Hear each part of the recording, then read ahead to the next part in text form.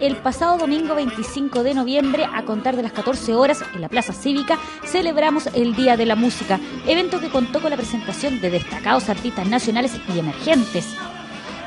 Estuvo toda la fuerza de Florcita Motuda, Los Miserables, Agua Turbia, La Mano Ajena, Los Versos Versátil, Felo Fonsea, La Guacha, Los Porfiados de la Cueca, entre otros. Sin duda un escenario 100% rockero.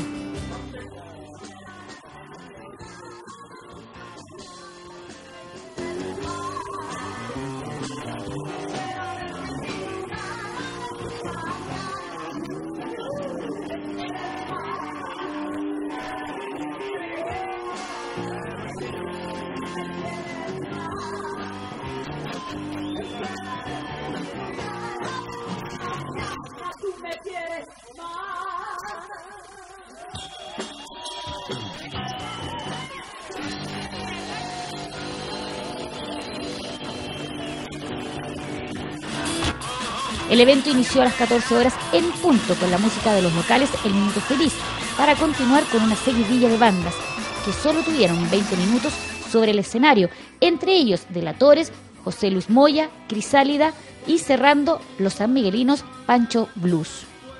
Maravilloso, la verdad que el público de San Miguel siempre nos llena de amor, de energía, se saben los temas.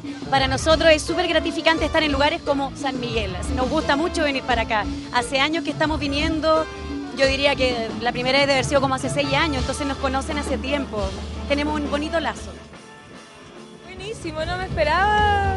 O sea, en realidad uno nunca sabe a lo que va, vamos a entregar nuestro corazón, nuestra música, darlo todo siempre.